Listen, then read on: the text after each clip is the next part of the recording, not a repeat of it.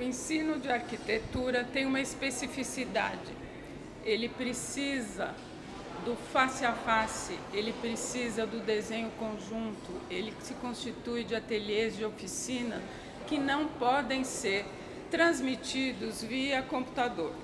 Eu sei que nós estamos vivendo num mundo líquido, a tecnologia é um instrumento, pode nos trazer instrumentos que nos ajudem, mas para ser um arquiteto é preciso ter aulas de ateliê diretamente vinculadas ao exercício do desenho conjunto com os professores. Então, futuros alunos de arquitetura, desconfiem dos cursos de ensino à distância.